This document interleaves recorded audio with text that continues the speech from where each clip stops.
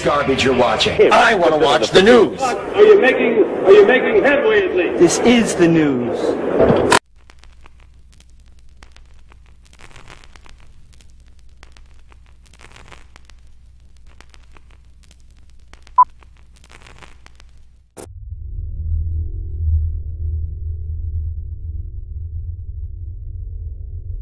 Do you believe that a technology exists wherein speech can be encoded and transmitted via microwaves so that it can be heard inside the human skull without the use of a receiver?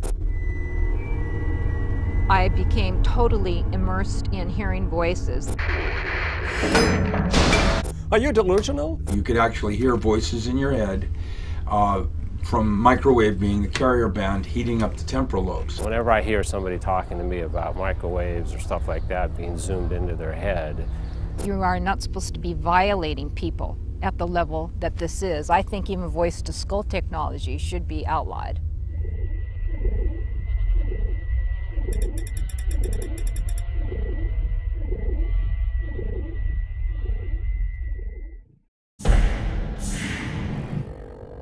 In the 1980s, a firestorm of court cases concerning the satanic and ritual abuse of children swept across the United States and was fueled by the popular media.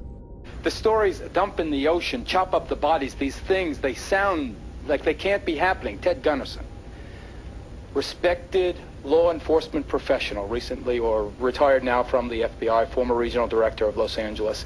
Do you, sir, believe that these dreadful allegations of babies being sacrificed are true? I absolutely believe it, without any doubt. San Diego, California resident Dale Akiki, born with a rare genetic disorder known as Noonan syndrome, was accused of ritually abusing children. Did you ever intentionally physically hurt any children? No, I did not. Have you ever tortured any children? No. Have you ever hurt or tortured or killed any animals? No. The satanic ritual abuse allegations, which were so widely sensationalized in the popular media, were eventually labeled a moral panic by most professional and law enforcement entities. And in 1995, even Geraldo Rivera issued an apology for his participation in popularizing the satanic abuse phenomenon. Due to the fact that I had witnessed somewhat of a cover up of the reality of ritual abuse in my local community due to the maneuvers of reporter Mark Sauer. The evidence is uh, thin at best, specious, and, uh, and uh, frankly does not stand up to the light of day. One of the first things I did was to immediately peruse the news group Alt Satanism, for instance. And I found a very famous alleged perpetrator on one of these news groups by the name of Lieutenant Colonel Michael Aquino. And I had appellate documents. Um, and the appellate documents about his case basically said that he was processed out of the Army in 1990 after a ritual abuse child investigation. He's an admitted Satanist. He runs this, you know, goofy, you know, dark church or whatever, you, however you want to characterize it. So there's uh, there's enough smoke here that Diana's going to find fire. Is it a force for everything negative? Well, if you're talking about Satanism as legitimate Satanists define it, absolutely not. Does that prove that he's a child abuser, that he's sexually molesting children, or his agents, you know, operating that? Well, of course not. I mean, where's the evidence of that? Lieutenant Colonel Aquino was accused of ritual child abuse while he was stationed at the Presidio Army Base in San Francisco, but he was eventually cleared of all charges. I could not function at work, this new job that I had, and so I didn't pass probation at this new job, and I was let go. And I became totally immersed in hearing voices. These people identified themselves as NASA Ames employees, they identified themselves as Livermore Lab. paranoia is a defense mechanism to handle with anger. Most people don't like to be angry, and particularly many people like to deny the fact that they are angry. So instead of admitting to themselves or anybody else that they are angry, they devise a system where they project their anger on other people. And I discovered various victims' websites, people who had the same symptoms that I had, and they were referring to what was called voice to skull technology. It's a good thing to speak in terms of delusional systems because there is a whole uh, surrounding area of thought an explanation that goes into their, their initial delusion. And they refer to this website. And the website was called the Center for Army Lessons Learned. And I looked it up, and this website is run by the Army. Usually these delusional systems become more and more elaborate. I looked up a term that other victims had been talking about, which was voice to skull devices. They go out and explain to it, it all becomes part of the delusional system. What voice to skull devices say, I have the printout right here, as it says it's a non-lethal weapon which includes neural electromagnetic device which uses microwave transmission of sound into the skull of persons or animals by way of pulse modulated microwave radiation.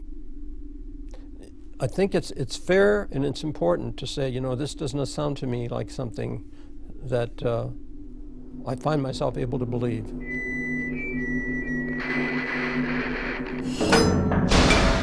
There have been recent advances in acoustic technology which can transmit sound great distances with a very narrow target range.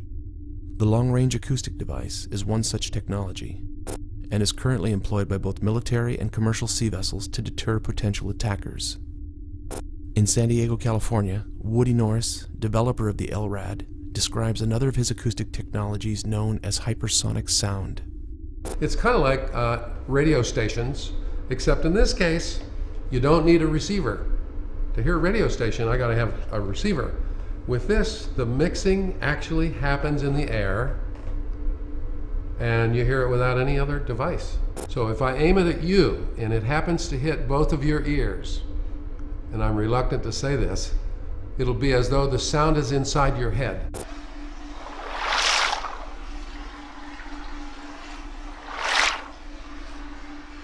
This time I'll come all the way around in case you're getting a lot of echo from the room.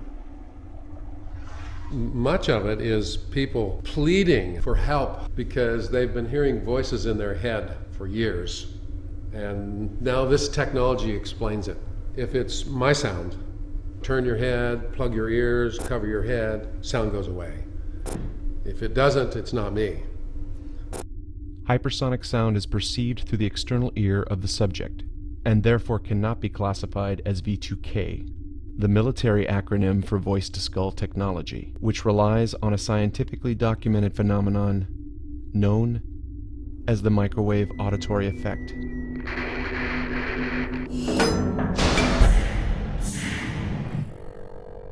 The observation of the phenomena came way back during the uh, Second World War, and the, uh, the radar operators you know, accidentally notice that when they stand in front of the uh, uh, radar, sometimes they can hear uh, clicks in their head.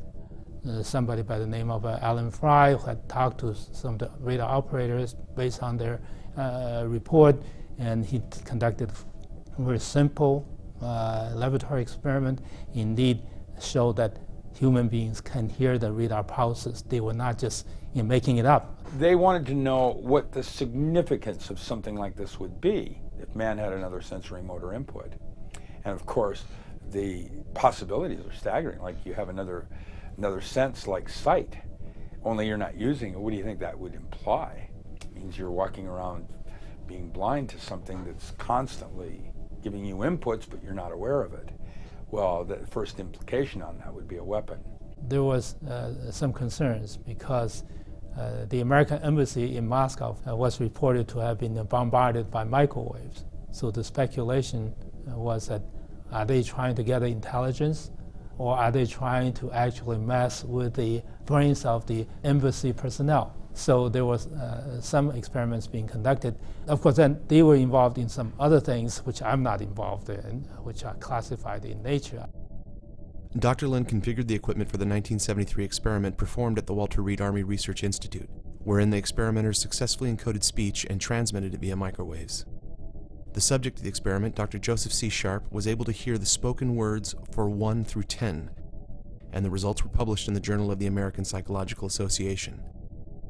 And while Dr. Sharp verified these results during a personal interview with the filmmakers, he declined to have his voice or image recorded, stating that the technology was still too controversial.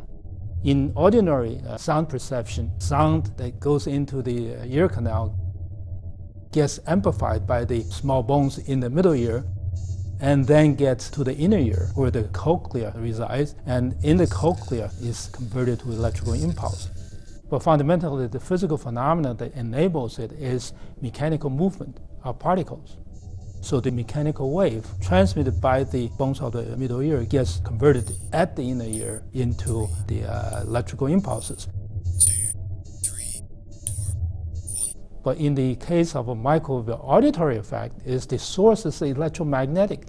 So if you expose the biological tissue to a pulse of uh, microwave energy, the tissue expands and induces a vibration.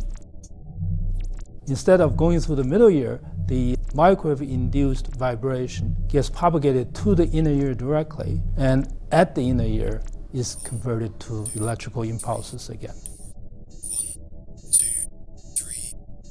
And in this case, and the vibration in the human tissue, if the tissue is the head, for example, would fall within the auditory range of a human uh, subject. All applicants for voluntary admission are held a minimum of 15 days for examination before they may be released.